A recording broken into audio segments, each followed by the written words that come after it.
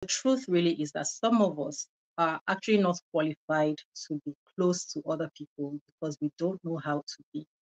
And if we don't learn, then we really don't have any business being in a relationship with another person.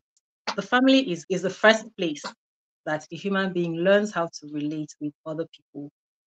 And if a person doesn't learn the right way to relate with other people while in a family, this contributes to the person that that person becomes as an adult in the future. And then from there, everything else spins.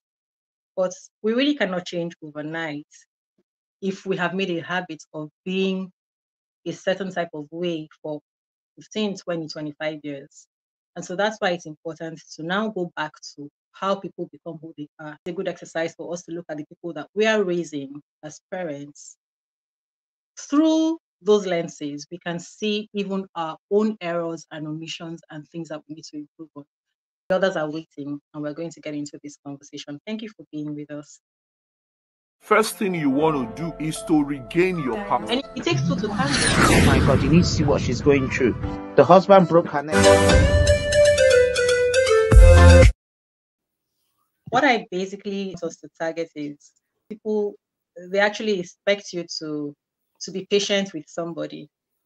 But the truth is that some of us are really not qualified in the first place to even be in a relationship because of the way that we were raised, the way that the things that we went through in life. Not saying that they would never or that we would never be qualified, but some corrections need to be made, some things need to be adjusted, and then we will be ready. And that's why sometimes it's like it's never going to end. There's no amount of patience that's going to change this thing if the person has not changed from inside. If we, if I have not changed from inside, there's no amount of patience that you're going to give me or talking to that's going to make me change until I realize what is wrong in my thinking and make that adjustment. And that's why it's important for us to raise our children with that in, in mind. Quickly, I want to jump in into one thing, and it's a rule that will guide anyone. Um, the rule is not because any one of us is perfect. The rule is because that is what needs to be done for you to get any positive output. The, the title of, the, of our topic is Who Are You Raising? Would you truly be happy with your child as a spouse? So, first and foremost, there's a rule.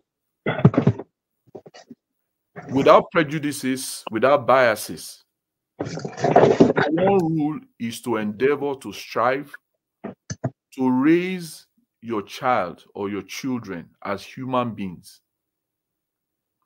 A lot of a lot of people for one reason or the other for economic factors for physical location factors for environmental factors and several other factors have lost the essentials of being a human being and when you say, oh, how do I be, how, how, how should I be a human being? How do I raise my child to be a human being? First and foremost, raise your child to respect others, to respect themselves and respect others. Now, from that, several things are put in place and several things do not even come to the fore, not to talk of being corrected. The problem is that a lot of parents have lost because they are they have one agenda, they have one bias, they have one position. Whether whether I mean um, factored into them by society, by culture, by relationships, but the real essence of being a human being, which is respect for yourself and respect for others, it is the foundation of any human being. Anyone who lacks, lacks respect for themselves and respect for others would find it difficult to be able to raise another person because it's that is the premise for you to do anything to, for you to build upon. It's the foundation.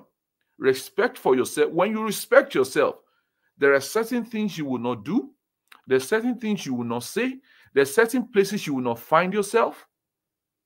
And if you are able to impart all of that strenuously, and I'm not saying in any way that it is easy, but if that is your focal point for you to raise children that respect themselves and respect others. Little things as small as I want to give you a personal example when I came to um, Canada. By the time I came, my boy was, I won't say fat, but he was big. So when I came, and I, I want to use it as an example so, so that we know that we all learn and we must learn, we must caution ourselves. I used to say, ah, come on, you are you are big, you are too big, you are you know you are why you why oh you eat too much, you you need to reduce. But what I saw was that one day he was he was somebody one of the things I raised them with do do not do not uh, body shame anyone. I raised them like that. So, but me and I'm an adult. I'm telling him he's too big, he's too fat. More like so to say, he's too fat. So one day he was body shaming somebody. So I corrected him. Do you understand? I said, no, do not body shame anyone. Okay. So, but the correction was not for him alone. The correction was for me too, who was correcting him. So instead of going forward, instead of telling him, oh, uh, you are too, no, no. What I did, though, I just concentrated on the things that will make him lose those fat that I felt were too much for his age. Do you understand me? Because I didn't want him to start, uh, you know, generating health issues and all of that. So, but instead of continually, I just kept quiet on that side all I concentrated on was making sure that he did things, you know, he did things, activities that made sure that he wasn't gaining weight excessively. But what I'm trying to say is that it's an example of how we, if you have the right foundation, you will self correct.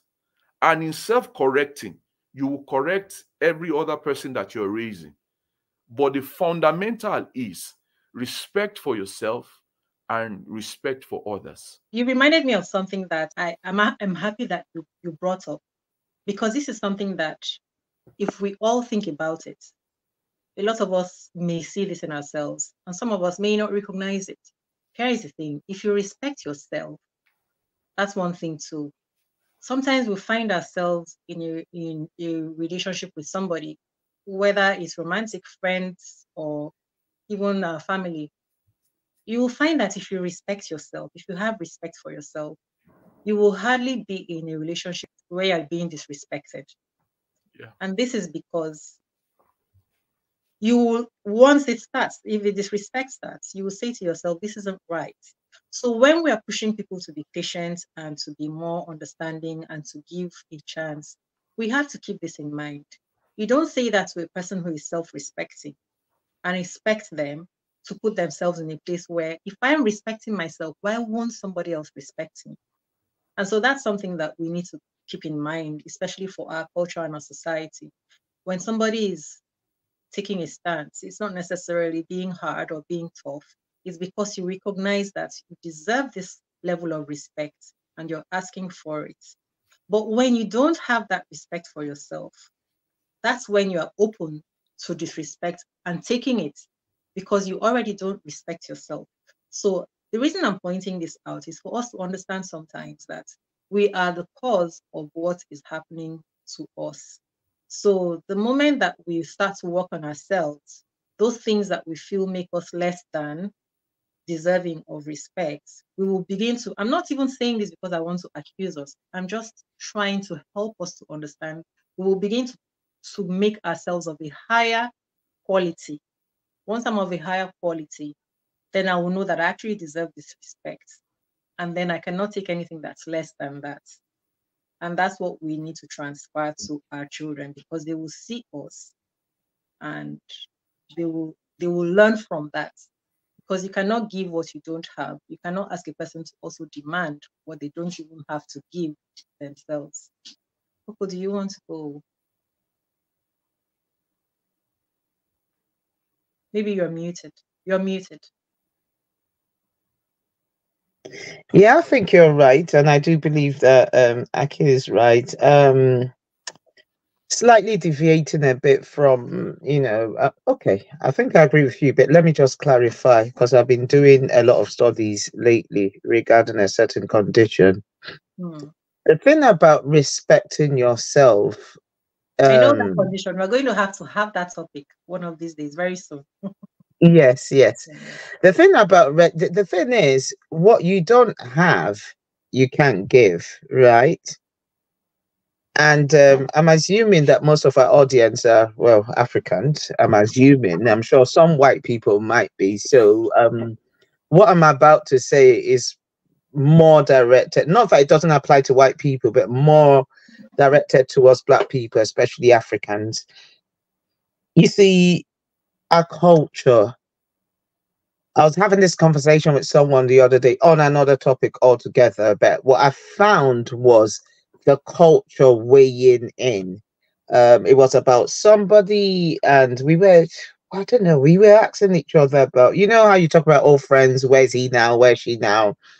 And I think the person said something like, um, marriage breaking up or something, and said, oh, um, you know, white people made a reference to, I think he was married to a white person or whatever, as in whoever it was, as, as, as they said, um, oh, you know how white people do their things, but in our culture, insinuating that the marriage broke up because of their culture. That's this white culture and not the black. But I corrected him. I said, listen, whatever it is that is in their culture is fair. Okay. So African men, and I'm not saying all of them, I said for the African men that are manipulators, narcissists, um, controlling, blah, blah, blah, they would always, they will actually smear, that's the right word, they will actually smear these white marriages as in, hey, don't even go there. Whereas in the reality of it is because the way they're raised, they're raised to respect both men and women and for you to say no enough? Relating it to what we're talking about here what sort of son are you raising? What sort of daughter are you raising? Because it's not just men.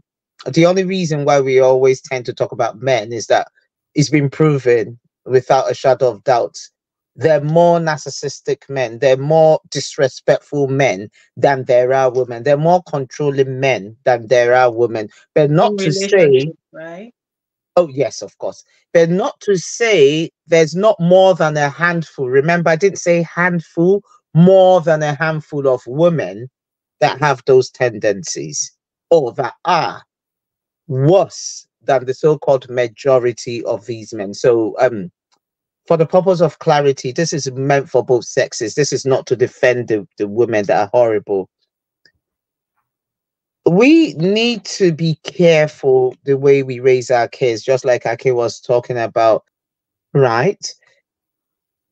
It could have been something more serious. Not like that one isn't. It could have been more some something like a behavior, if that makes sense. If he didn't call out his son, if he didn't correct him, his son would have gone on to say something else that will top that and top that and top that till he gets to that age of either be narcissist, like feeling um, insecure about himself and taking his low self-esteem to dump on someone else. It may not necessarily be about body shaming, something else altogether. This Because is it would- This is beautiful. Yes. Because it would make him feel good. After all, he's a, a fat kid, right? He has a low self esteem, you know, thing going on in his head. But this is dad not necessarily knowing the effects of what he was telling him. And I'm glad he said, I learned. The minute I was correcting my son, like, you don't dare do that, it felt like, oh my God, I'm actually talking to myself. So I'm sure from that point onwards, you see, the way we raise our kids, moving away from him, because I don't want to use his son as the topic here, matters.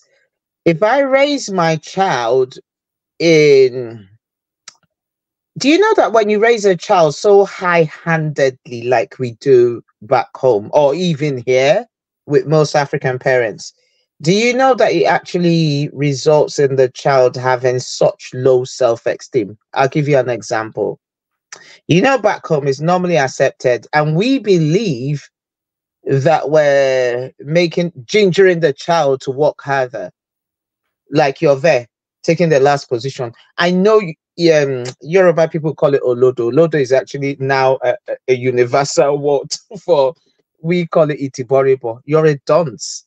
You don't know anything. You stay there. This, that, that, that, that. Look at you. You cannot even think little things like you can't clean your room. You can't do this. What is it that you're good at? Look at your sister. I went out the other day. I went to Mr. Whatever, whatever's house. Even his children young. Now, it's okay. I'm not saying that as parents, even white parents would say that to their kids at some point. If it's repetitive and if you lose yourself because of your own upbringing to dump that on your child, as soon as you say it, quickly realize yourself, even if not at that moment because you're still upset, when you go away 30 minutes, an hour later, going to bed, waking up, if you remember don't go the normal African thing of being egocentric, as in, how can I apologize to my child? Because that's another problem. You know that what you've done is wrong, right? But you would say sorry to, to the child in every other way without addressing that main issue. Let me tell you what that does. When you say sorry to the child, but in every other way, i.e., now being nice from now on, buying things, oh, how are you? Hey, how is school today? Oh, uh, hey, uh, go and take that, whatever You've only just pushed that previous day's insult deeper into the child's head. Do you understand what I'm saying? Deeper into that child's head. You haven't resolved it. Giving him those little things here and there, you haven't resolved it. You haven't said to him, I was way out of line yesterday. I shouldn't have said this. I'm really sorry. for why is it me. important that we do that? I'll tell you why it's so important. Number one, we're teaching children we're teaching them to take accountability. We're teaching them not to shift blame. I'm a parent. I can't start telling you like forever from right from when my children were probably about two, above two years. Also, I'm not ashamed to admit that I'm one of the few African parents because I'm sure there are just a few out there.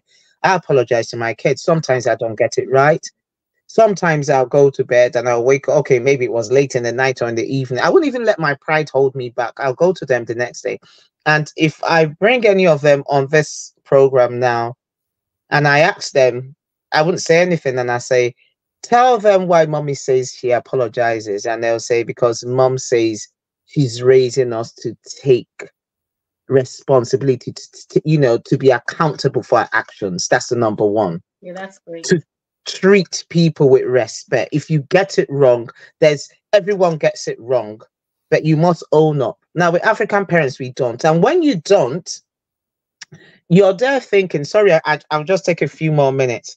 You're there thinking, eh, but I said sorry in every other way. Eh, my parents never said sorry to me. Look what you ended up being for them not saying sorry to you. You ended up being exactly what they were to you. So you know that the things they did to you, you didn't like it. Were you now feeling empowered? Because the thing is, it makes you feel some sense of power. My parents did it to me. I could do it to my child. Take it. No, you have to break the circle. Because if you don't break that circle, you might be raising a narcissist. If you keep on and on and on, the child will learn how to block themselves because they need to shield themselves from the abuse. And it something in their brain just clicks off. All and right. once it clicks off, it is irreparable. I've done, I've done, I've been actually doing a study on, I've watched over 200 videos, I've watched, uh, read over 200 articles, all in SS. And I am so determined. I would have a platform someday to talk about narcissism in the African society because I found that we have far more We're many narcissists. We're creating it, right? We we are, and it's this pattern. But if you call your, like I said to my children, you know, I've used my children as an example. they would go on in their marriages, relationships, or you know, when they get, or even with people, what colleagues and all that, when they get it wrong, they wouldn't feel any shame because I've removed the shame from apologizing. Most people don't apologize, not because they don't want to, but it's the shame that is associated with apologizing. Owning that you did something wrong. Yes, and especially a parent to a child. And you see these people growing up to struggle to apologize to their spouses who might be the same age mates with them, their work colleagues.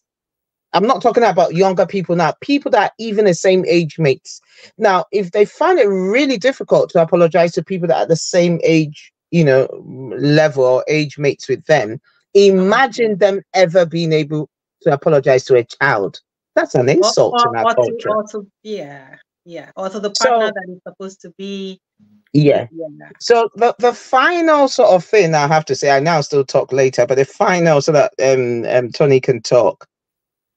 When we're raising, because the topic is about raising, are we raising children that are worthy, as in to be married and all that, as yeah. in how they're fair?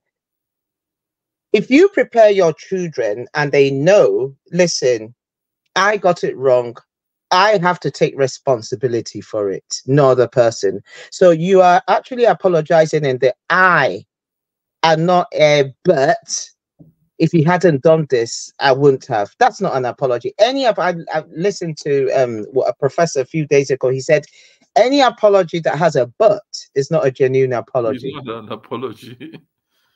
there, there mustn't be a mo- so if we get it right with our children i think we own we we we're the ones that create the narcissist parents do that's that i mean it's been theoretically proven it's been beyond every shadow of doubt parents raise the narcissist either deliberately or indeliberately I, I really love the fact that you took it this way See, the things that you mentioned and the things that Aki mentioned, they look like very little, minute, and trivial things. But you see how deep, how deep these things affect us and, and affect who we become.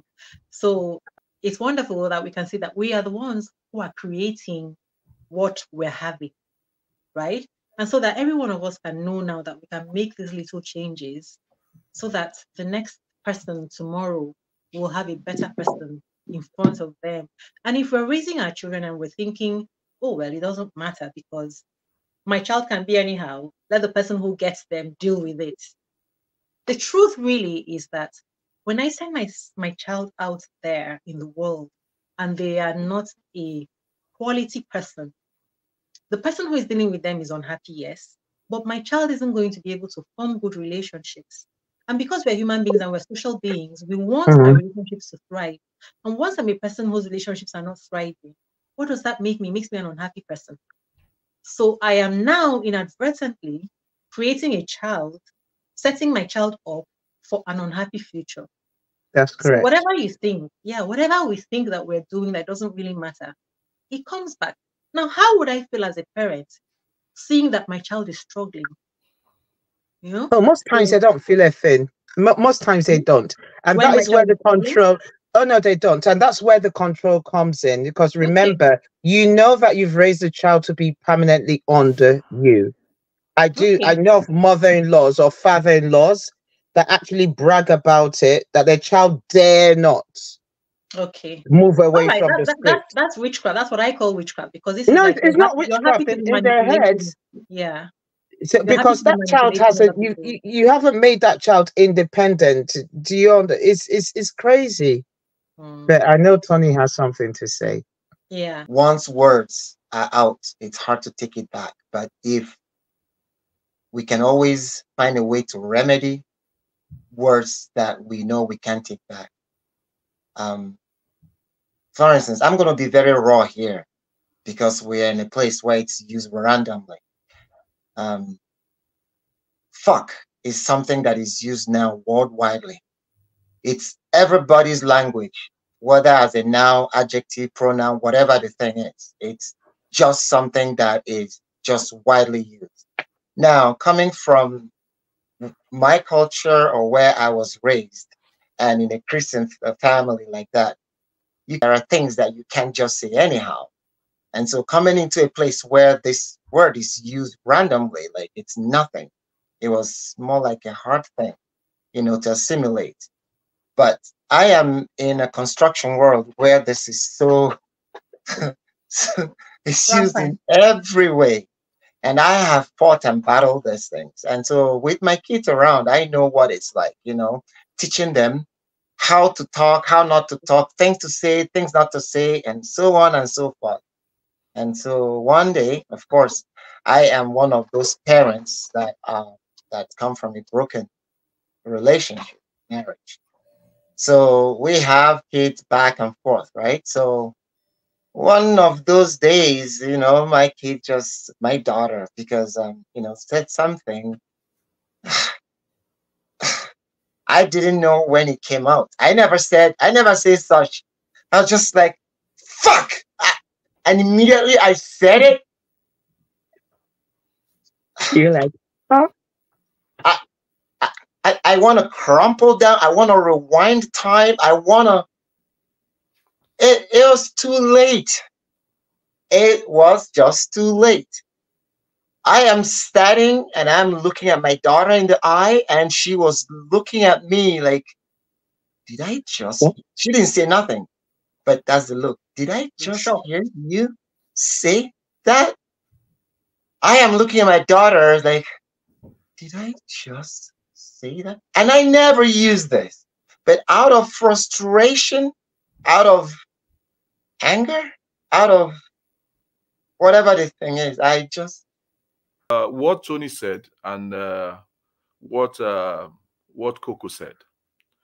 Uh, and one thing it brings me to is that a lot, and this is a lesson for a lot of parents. Um, a lot of parents talk. We we say, "Do this, don't do this, don't be like this." Do as I say. Don't, don't do yes, yes. And what you find out is that if you cannot beat your chest in different aspects of life and say, I am an example for my children to follow. It's a strong word and it's a strong uh, statement to make that I'm an example. If you are not continually an example for your children to follow, then you will raise children like uh, Coco had described. You understand? If you if you cannot if you cannot be an example in apologizing when you're wrong, it's not. I'm not even talking about apologizing to your to your children. I'm saying apologizing to even your partner, your wife or your husband, because the, whether you like it or not, the children see you they see you for upward, at least, let's say from the moment they become very extremely cognitive for almost uh, 18 years before they leave your house. If they leave your house at the right age, as in maybe immediately after university, they see this from age seven or age six yes. to age 22, 23, 24. So they they they are those years they see the pattern and there's there are no better cop, photocopiers than children. They copy what they see. That's true. Ex, almost exactly. Be, before long if, you, if you're not careful you can you can start saying things like oh you're talking like your mother. You're talking like your father. It, it, it sounds funny but it is extremely derogatory if it is in the negative do you understand? And yeah. a lot of people, a lot of us do not want to. Sometimes I, I, I keep telling people, I say, look, sometimes you don't do what you do for yourself. You do it because you are a mirror. Even even sometimes things are not they, they don't really sit well with you. But when you when you when you when you think about the the the the other uh, maybe um, disposition that you could put forward. The ripple effect of what you're yes, and the ripple effect of it. You just you just calm down and say, I'd rather do what sets an example, a correct example, than do what then maybe in the closet you can address the issue as as it really is because so, most times most times it's not that easy to be a positive example in some situations. But you can be you can still be that possible positive example. And then if you feel that there are issues it doesn't have to be with your spouse. It can be with even outsiders. You understand me? A natural reaction to a situation might not set good examples for your children who are watching. Right. but Um, you wait you you know you set you you you hold it because you know that if they take that example that you are setting hook line and sinker as of the time that you are setting it they will go on the wrong path you're older Yes. And they might do it at the time that they are young. yes you are older so you know you can understand the magnitude and the and the eh, extent of whatever you of whatever is happening but they don't because Yes. one majority of them their frontal lobes are not really totally Yes, developed. so developed. they take issues basically most times on the surface of it. Okay this happened and this was your reaction. This happened and this is what you did. This happened and this is what you said. Not knowing you know not understanding the the the depth.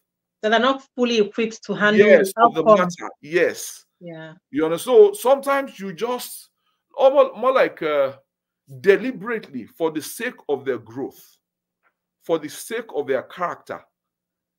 So quote and unquote playing to the gallery for positivity while thereby behind settling the negativity in an adult way. I'm not talking about the the even your spouse. I'm talking about well, with your spouse every day you are a living example of what they should be.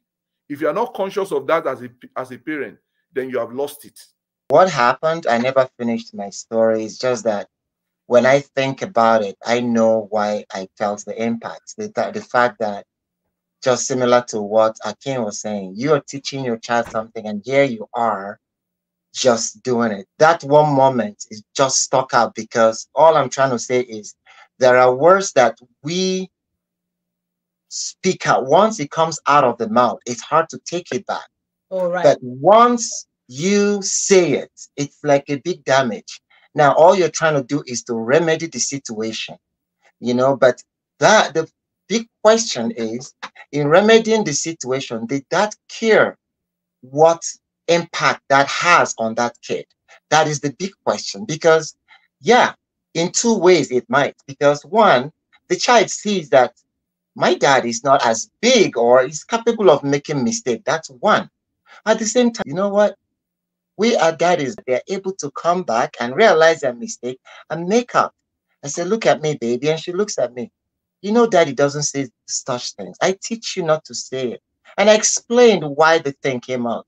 She hugged me and held me. That was a good healing. It's just that when I remember that, when I when my mind goes that, I know what it does to me. And the fact that the way she looked at me, that look still stays in my head. But um, going forward, um, um, this topic that we're talking about, you know, we're talking about how this affects, uh, I mean, how if we can actually marry somebody that we raise.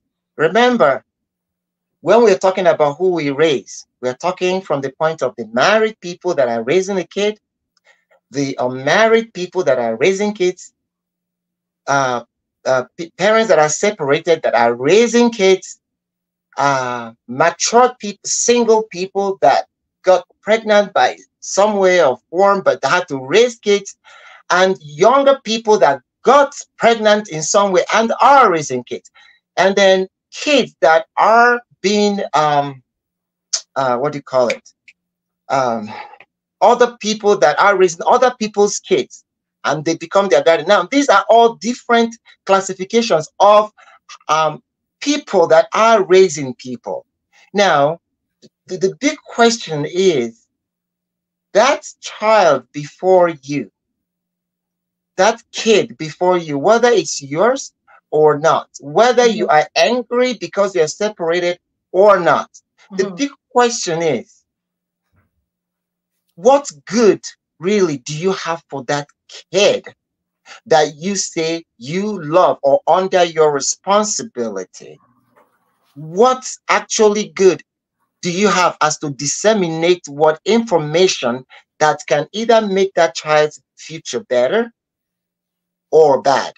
Now, if you, by whatever means, disseminate whatever information and that kid grows up, if you see a semblance of that kid, would you be able to tolerate the impact of what that kid's going to through? Are you are you going to be able to cope with it? This is the essence. This is what we're talking about. So what seed you plant today, you're going to enjoy 10, 20 years down the road. And I dare say that others are going to enjoy also.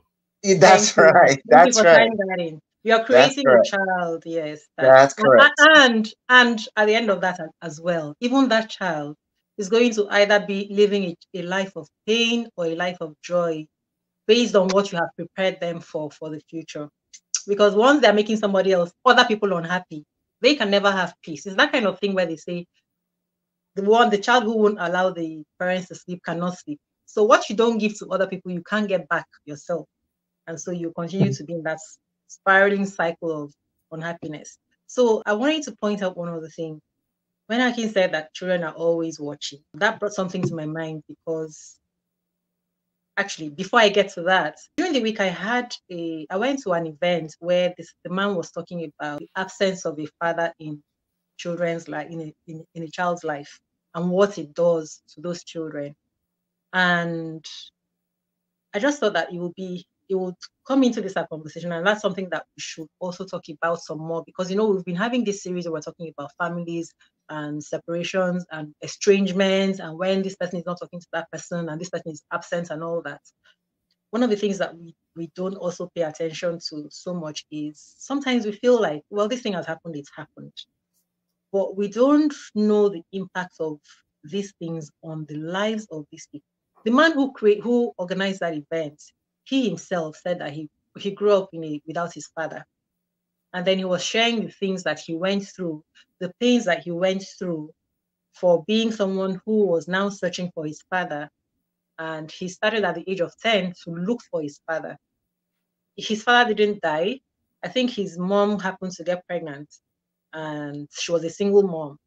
And then he now started to have this battle of i want to know my father and so that's one of the things that we should also pay attention to as people bringing up children. Sometimes we don't know the, the struggle that the child is having because of absence of the mother or father in their life. And this is having an impact on them and who they're going to become tomorrow. And they may face certain things that they will go through and who they will turn out to be. So, sorry, this brings quickly, let me just say this. This brings me to something that a lot, and I, be, I, I, I hope uh, a lot of young people and single parents will listen to this. Let's leave the side of okay, a family where the husband and the wife are present mm. and they are raising the children. Let's leave that. I mean, that one, I mean, if you if you follow the right principles, you will do a good job mm. to an extent. But where the problem, one of the places where the problem is, is that some people this for one reason or the other some are stronger than the other. Some reasons are stronger than the other. So, uh, some conditions are worse than the others. But some people decide to be single parents. Mm. Maybe out of it, maybe the level of uh, character that the spouse is, whether the woman or the man. But it's a decision to be a single parent if you decide to be a single parent, be ready to do a double job. Thank you. Thank you. if you. you decide to be a single parent, if it's your decision, either for the fact of, that you cannot live with a man or you, the or what any reason, but it is your decision. Even if it's not your decision, but you found yourself having having to raise a child by yourself. If you're a woman, know that you will do a man's job too in raising. If you are a man, know that you will do a woman's job. So if you don't know, go and start learning. Yeah, what's the perspective? What is the perspective? It's not easy. I'm not saying in any way that is easy, but an effort must be made. you must understand the perspective of a woman towards a child. And as a woman, you must know the perspective of a man towards a child, whether boy or girl. Take it, don't say, Oh, I'm a mother, I'm a good mother. No, raising a child alone does not mean, does not require you to be a good mother alone. It requires you to do a yeoman's job. Raising a child as a man does not require you to raise a child as a man alone. It requires a yo a yo woman's job, if you want to call it that. But the bottom line of it is that you must be seen to learn and to adapt to the other way. One way does not raise a child. Those are the things I just want to say. Thank you so much for, for that contribution. So maybe perhaps we can look at it this way. In 2024, sometimes a woman might find herself getting to an age where she feels, all right, time is going by. And because we know that uh, um, we only have a window period within which we can have a child, let me now go and be a single parent by either doing IVF uh, or adoption, something, and have a child of my own. Now, such a woman does not have a man to be yeah. there in the, in the in the life of that child. So, tying what Akin was saying, what I said or what I what I would suggest is, even if because you really cannot be a man if you're a woman, you really cannot totally understand. So it's not enough. It's definitely not enough to be a good parent. I'm a good mom, and so that's that's all I can be. Or I'm a good dad, and that's all I can be. Now, to say take the perspective of also taking the perspective of other gender, how much of that can I do? So we have to tell ourselves the truth to recognize that really I can only be this. Now, if I cannot have somebody who will be a fatherly influence yeah. or a motherly influence, as in to be raising this child or children with me, then I must find ways to expose them to that kind of influence, whether it's by my own uh, sensible relatives of the other gender, you know, I have to find ways to fill that role because what I say is this a human being is made of is made from a mother and a father always. There's never going to be a human being who comes to earth without it being a combination of a man and a woman somewhere that came and made that thing. And so these are the components therefore it means that these two people these two parties are important in the life of yeah, that human being which means that to get proper nurture, nourishment, whatever, it won't be complete if something is missing. That's why we find that sometimes the child has grown to a certain age and they start to look for that other one. Because all through their growth, mixing with other people and observing life, they feel that emptiness. There's that void. Yeah. In nature abhors a vacuum. So that void is there. So they're always going to be looking for that thing to plug that that vacuum. So it's be, now you know it behoves on us if we're not conscious of it, if we were not before today. You think you're being a perfect mom or a perfect dad, the child is missing something. Believe yeah. it. So we must find a way to an avenue, avenues to meet. You may need to meet with a therapist or a, people who who are experts in that field ways also, mm-hmm. sorry to mm-hmm. cut you short. That should be a topical treat. African men and yeah. therapists, or women also. Let me not just say men. All right. So before we close, I want you to say, so I said I wanted to talk about when Akin say children are always watching. Because with everything that we've said here and talking about even single parents and how you should make sure that everything is equal, here's something that we also had on another episode on Diaspora Lounge. I had this with the women's section uh, there was a conversation about, um, and people have this conversation. A lot of things that we say here, we need to put add context to them. For instance, even this thing Akin said, um, the woman is supposed to be the loyal one. Some people are going to walk away tomorrow and say, okay, so that means that he's trying to say that men don't have to be loyal, but they love. But inside that, you will see that you cannot. Inside love, there's loyalty now. You can't love someone without being loyal. if you are not loyal. exactly. yeah. So now, so this person was saying that um, it doesn't matter that no matter what, that children, uh, parents need to stay together for the sake of the children. And what we forget is that in situations like that, every situation has to be looked, the peculiarities of that situation has to be checked. It's not in all circumstances because if parents are, are staying together and the children are only observing people who are bickering, people who show who do not love themselves, they're also learning something that we are setting them up still for failure tomorrow. So all these things will so sometimes people will say if the parents are divorced, then the children will have issues. Sometimes just the fact that those parents are staying together is an issue for the children. And destroy them. Yes. Yeah. And I, I I also spoke to somebody who even the children were saying, Mom, why did you let him? Why why are you allowing this man in our lives? The children are like, the mother is betraying them because she's allowing a man that keeps on hurting them to remain with her because she wants him for herself. And she said to me, for the sake of the children. I'm like, which children? You are hurting the children. So we take all those, everything needs to be taken in, in context. So we need to talk about that on another day. Um, if you're bringing up a child alone without the other parents, if you're together, even if you're together, it's sometimes it's worse. It's like those children would have been better off without even both parents, because some parents should not even be parents at all. It's actually a fact. So yeah. we should also talk about that another day.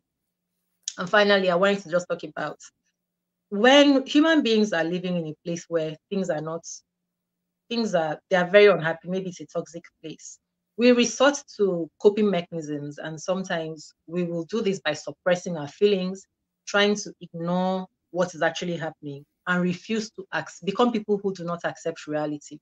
And in the end children who grow up like this may do what? Turn to all sorts of vices. It could be uh, promiscuity. It could be uh, drugs, anything. Yes, Any could, they could become people pleasers. Yes, become uh, liars. They become anything but normal people because they are trying to cope with not accepting the reality of what they're living with within that family. And I see this. So when when that person now starts doing this, the family now turns around and starts to maybe to even ostracize that person because they don't like the way the person has turned out without looking within to see how did this person end up in this thing. And those very people who are claiming oh this person is embarrassing our family by doing this thing being this person that being you are the ones who created this person. You haven't taken your time. yeah. yes. So we create we create monsters in so many different ways by our carelessness. The day that we begin to own and realize and recognize what we're doing with the way that we're bringing up our children, and even take some of the responsibility for what our children have turned out to be, the better we will be as a society. Right. So, uh, with that, we can close this particular topic unless somebody wants to add some. Oh, uh, something I was going to add. So now this is the end of May uh, you come across this video and for and for our videos going forward, our episodes going forward, try to look in the description box under the video. We will be adding some articles there. Today we talk about bringing children up and different um, things to consider. We'll be adding some articles that can be helpful to our community and our audience from time to time. Because we talk about reading, but I think that if you before you think of where am I going to get a book, uh, the resources that I'm going to find, sometimes we'll just have some a few articles written and just right there for you so they can easily grab them and help ourselves because all we want is to have a better um, society for all of us at the end because my children are going to grow up meeting your children. I don't want my children to go and meet monsters. And so that's why it's important to me to not just do it in my house. I want as many of us as possible to do the things that will help all of us to have better people. Yes, we can't reach everybody, but the little that we can do, we can do, we should do. Anybody wants to add anything? Now, well, maybe in just one sentence. So, um, it's just for we parents. I think you've said it already, but it's just for parents to be careful. Um, there's always been the question of um, nature or nurture. It is certainly not nature. It is nurture. Hmm. So what am I saying essentially? If you've done the studies that I've done, um, being a narcissist, being a horrible person to your spouse has got nothing to do with your nature. It is your nurture. It's Mm. somewhere in your nurture without a shadow of doubt. Hmm. Something that you picked up, eh, not having that love. So why should she have it? And it has nothing to do with your wife, really, or your spouse, or vice versa, as in husband or whatever. It's got to do with everyone, really. And the thing, here's the thing: eh, children learn. Okay, we we learn, we absorb, we absorb what we're given, and our first point of contact, our parents Yeah. they, they know their parents for a while before they start going to school to know. So it's that initial impact. So it's just for us to, as young as when the child is even under two, to be aware. Don't think when the child is 17, I'll start treating them like, hey, you've come of age. No. Because if you study this, which would I'm sure we'll treat it one day, narcissism actually the child disconnects emotionally by age two. That's what study shows, not in their teen years. So why am I saying this? I can't overemphasize the importance. I can't emph- e- emphasize enough the importance of our actions where our children are. Age two is when they disconnect emotionally due to the emotional trauma that they suffer or would suffer or ha- have suffered from their upbringing. So if you want to think about it, and that's where I want to end it, that it is at age two that you, between ages two and four, sorry, that you've damaged that child forever. I think we'll be more careful in pushing that child. Yeah, All right. that's all I have to say. And my last word is uh, focus on raising proper human beings. Hmm. Mm, Focus on raising proper human beings with respect for themselves and respect for others. If you Mm. focus on that, you would have done 70%, 80% That's of the right. work. And it's even in the Mm. Bible. Yeah. Love your neighbor as yourself. So, The moment that you have you find yourself as someone who is unable to love your neighbors, even if you don't believe in the Bible, don't look at it as a Christian. Look at it as a book that guides your life. Yeah. The moment that you you find yourself as someone who cannot love your neighbor as you love yourself, then start to examine yourself, and you find out that you have a hand in in your own unhappiness. It's it's Mm. just a, a law of life. That's what it is. Okay, mm. Tony, are we having any last word from you? Do the best to to make a better world for tomorrow. Thank you. Thank you so much, everyone, for this episode. Thank you for your wonderful contributions. I have learned so much. I want to believe that um, viewers will also take one or two things home from here and let's apply them. And if for nothing else, just for the fact that your child will be unhappy tomorrow if you don't raise them to make other people enjoy them as a quality human being as well. And with that, we close. Remember to look under our videos going from now they won't always be there for everyone. Or if I go to the community tab, we'll go to the go to the community tab to find um, little resources. They won't be too long, very brief things so that they can be useful for you and you can read them and, and be done with them. Don't want to task you too much. All right. Uh, remember to like our video and uh, subscribe to our channel if you haven't, so that we can spread the word as much as we can. And with that, close for today. Thank you for being with us. Bye bye.